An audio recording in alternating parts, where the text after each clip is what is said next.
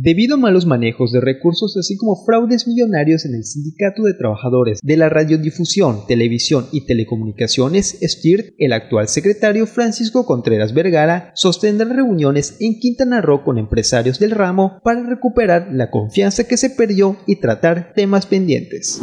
Bueno, aquí tenemos dos secciones muy importantes, que es Chetumal y eh, Cancún, que abarca otra parte de la geografía del estado he sido invitado para estar con presencia, con asambleas y tener pues ese contacto directo con la base y coadyuvar. Ahorita tuvimos una reunión hace unos momentos con, sí, claro, por supuesto, con los empresarios, con los directores, con los gerentes, con los administradores de las diferentes empresas de radio y también de televisión. Aquí tenemos nosotros la administración con TV Azteca, también con los sistemas de cable de Easy, y bueno, estuvo también nuestro líder local abordando los temas de tabuladores, convenios singulares.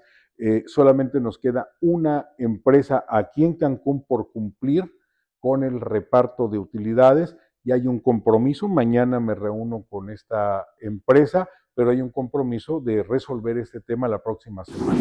Contreras Vergara mencionó que están siguiendo muy de cerca las investigaciones contra el exdirigente Ricardo Acedo Samaniego, quien actualmente está bajo proceso por el delito de fraude genérico. Detalló que el actual secretario tesorero recibió la administración poco más de 20 millones de pesos. Sin embargo, tenían conocimiento de que el patrimonio del sindicato rondaba los 356 millones de pesos. Sin embargo, al no poder comprobar dónde o en qué se invirtieron los recursos, tomaron la decisión de denunciar para que sean las autoridades las encargadas de las investigaciones. Con imágenes de Javier Celis informó para Notivisión Víctor Salazar.